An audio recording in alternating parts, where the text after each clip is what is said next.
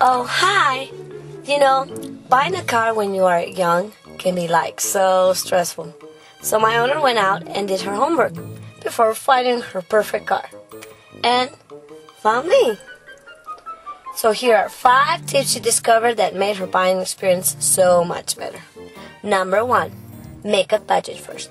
The monthly payment is not the only thing you have to consider. Take a sample monthly car payment at maintenance, gas, insurance, and see if you can afford that kind of money. Then adjust according to find your comfort zone.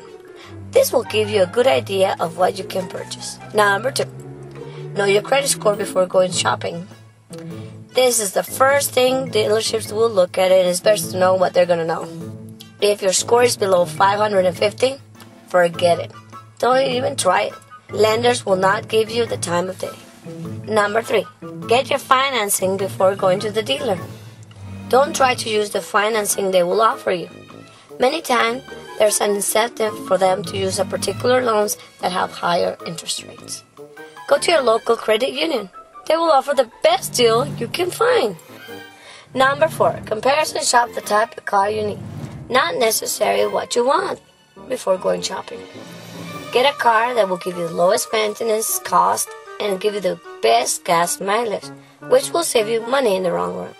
You can't afford to have anything go wrong when you are living paycheck by paycheck. This applies the same way to used or new cars. Number five, if buying a used car, remember these things. Never buy a car without running a VIN report or having a mechanic inspector, and never, ever, ever sign as is statement. Read before you sign anything. If you sign it once you drive off the lot, any problems that come up are your responsibility.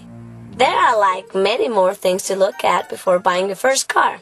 So do your homework and you can end up with your dream machine like me. Okay, I gotta go now. My owner wants to go to the mall. See ya later.